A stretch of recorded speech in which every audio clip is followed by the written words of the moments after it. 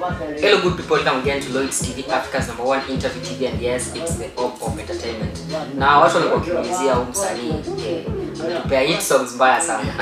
Niliamua nimtafute manze, um, kumuhusu zaidi na pia mimi nijue kumuhusu zaidi.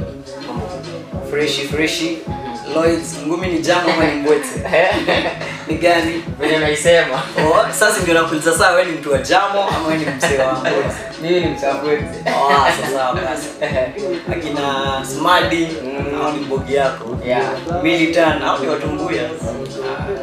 So, by the way, sikoka leo kwaje ah sikoka kwa freshi mahaso tunajasuaga tunatafuta sisi ni real hustlers wale oh, as in tuna- tunatafuta tunatafuta yani mboka ni mboka kabla niingie studio nifanye biashara zingine hapo nini.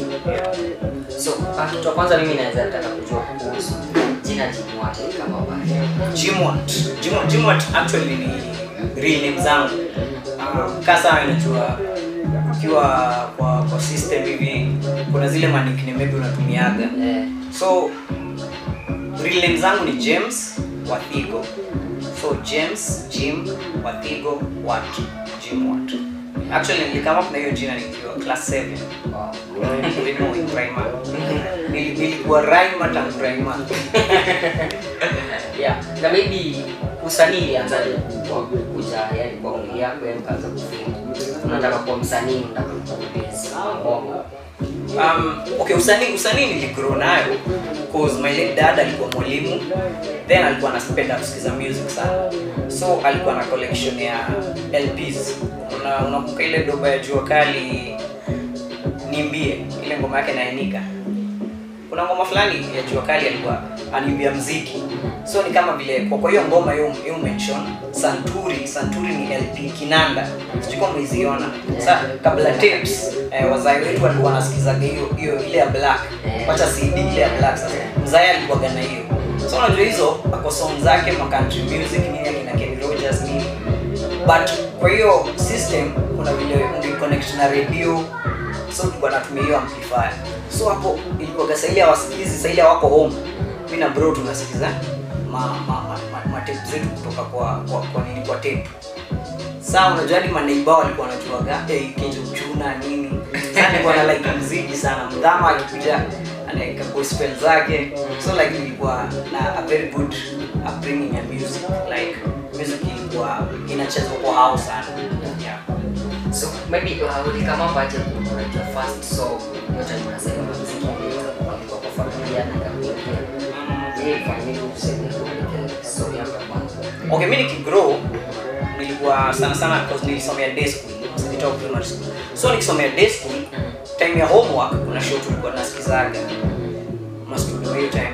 So ilikuwa hits not homework capital fm i think bado wanga but different presenters.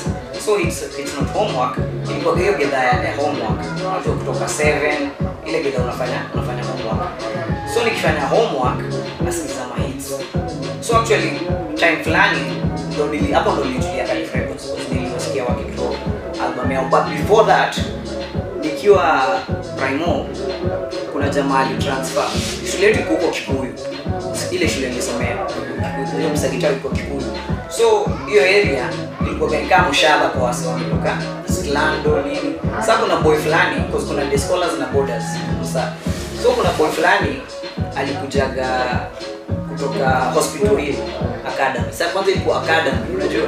So umri umezoea primary school. Unasikia msha kutoka hospital ile academy nini sasa ni msekuli, kila mtu anadai form yake itoka kama mimi itoka Jimmy so mimi nashindwa mimi nimekuwa hii shule kutoka nursery school. Sasa niko class 7 hakuna wasowaga wanashughulika naye huu ni kama amekuja 2 weeks 1 week. Kila mtu anadai form yake so nika notice ni juu ikifikaga before home time mm. tulikuwa na hiyo time ya kupiga preps 345 hadi 430 unafaa kupiga preps. So hiyo time mse alikuwa anashikaga desk anapiga beats beatboxing alafu anaanza kurap eh ninaona huyu mse ni cool. Hadi unajua ile unakubali. Mse ni mno ni mnoma. Naona kila mse wako ako zone yake. So ndo nikafikiria nilikuwa na eh acha acha hiyo time napiga kwa mwaka yangu nitajifunza pia kurap sasa yeye alikuwa na rap ngoma za na Tupac, Snoop zile ngoma famous unaona? Sasa mimi niko na the only one unaweza shindana na umse ni rap kitu unique. So nita have kurap ngoma za zangu. So hapo ndo nilianza kuandika. So naandika design ya wale watu nasikiza akina jua kali kina nani ama ama waswali naimba hiyo time especially ilikuwa kuna artist itwa Hardstone utam research hapo state side but ndo alikuwa one of the first Kenyan successful artists. Harrison Bunjiri alikuwa itwa Hardstone.